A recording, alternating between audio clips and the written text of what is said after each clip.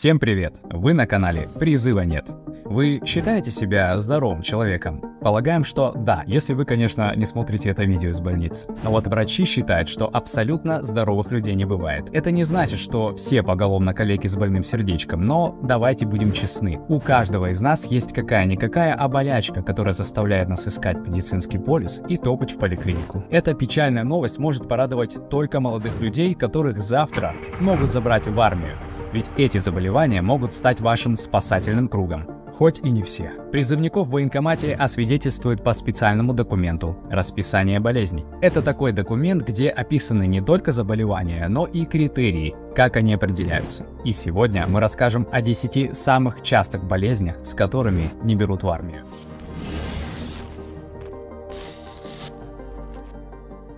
Первое в нашем списке – проблемы с давлением. Есть стереотип, что только старики за 60 хватаются за сердечко и страдают от гипертонии.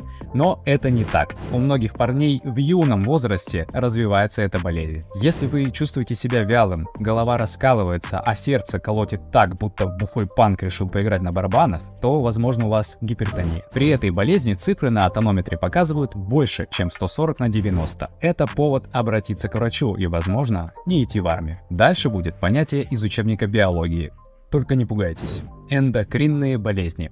Эндокринная система регулирует выработку гормонов, которые помогают организму в самых разных процессах.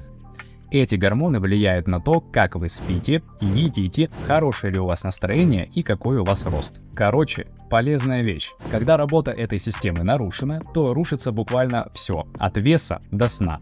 И одно из самых частых заболеваний щитовидки – гипотереоз, при котором эта железа вырабатывает мало гормонов. И с этой болячкой, как и с другими некоторыми эндокринными заболеваниями, не берут в армию. Следующий пункт – недовес или ожирение. Тут все просто. Вас не возьмут в армию, если вы ростом ниже 150 сантиметров или ваш вес меньше 45 килограммов.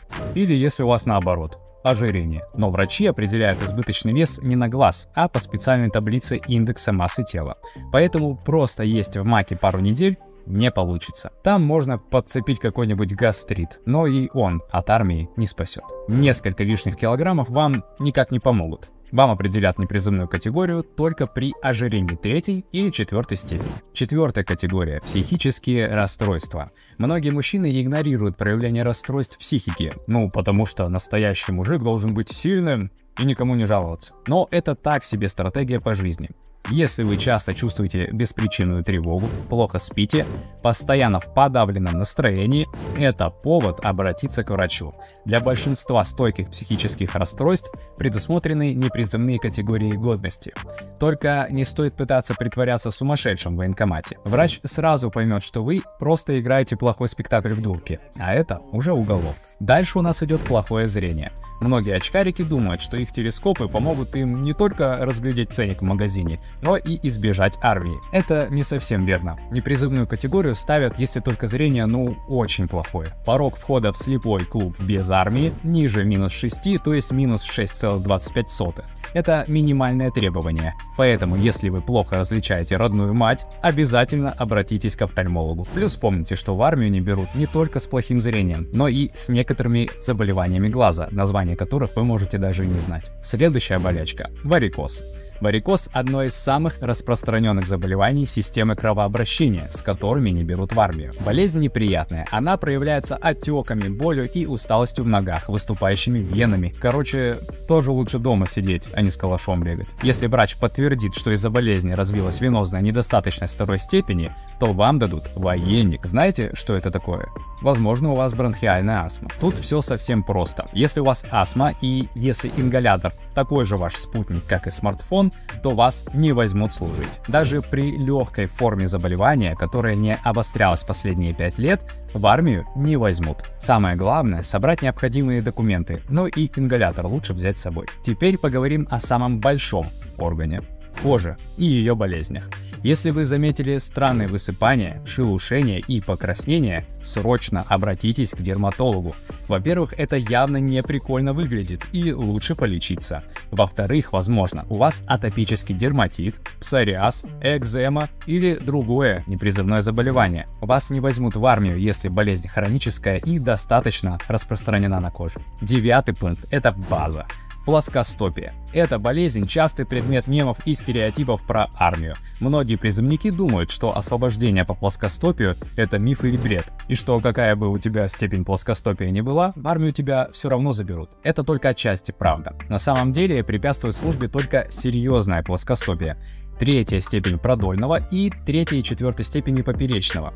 При продольном плоскостопии свод стопы опускается, и она становится, внимание, не поверите, плоской. А при продольном косточка большого пальца на ноге начинает выпирать в сторону. Оба этих вида вызывают боль, усталость в ногах и освобождение от армии. И финальная болезнь в нашем топе – сколиоз. Современные призывники — это врожденные геймеры, которые значительную часть жизни гамали в Майнкрафт и Доту за компьютера. И у многих позвоночник хоть немного, но искривился, а у некоторых он искривился до сколиоза. В армию не возьмут при сколиозе второй и третьей степени, если угол искривления больше 17 градусов. Короче, возможно, вы наиграли на категорию В. Итак, мы перечислили 10 самых популярных заболеваний. На деле их куда больше, и они охватывают все системы организма, начиная с мозга и заканчивая бедными стопами. Полный перечень есть в расписании болезней. Некоторые из них могут совсем не проявляться, поэтому если вы смотрите на себя в зеркало и думаете, что вы лакомый кусочек для военкомата, то успокойтесь. Не ленитесь и сходите к врачам и пройдите обследование. Это поможет и сохранить здоровье, и получить правильно выставленную категорию годности в военкомате. Но, конечно, заболевание – это дело профессионалов. И нужно неплохо так любить доктора Хауса, чтобы знать, какие из них у какого врача проверять, какие документы нести в военкомат и как описывать свои горе-болячки. И с этим вам помогут специалисты. Пишите нам по ссылке в описании и записывайтесь на бесплатную консультацию. А еще смотрите наш бесплатный гайд, как самостоятельно получить военный билет. Ссылка там же. Мы подробно расскажем не только о популярных заболеваниях, но и о которых вы даже не слышали.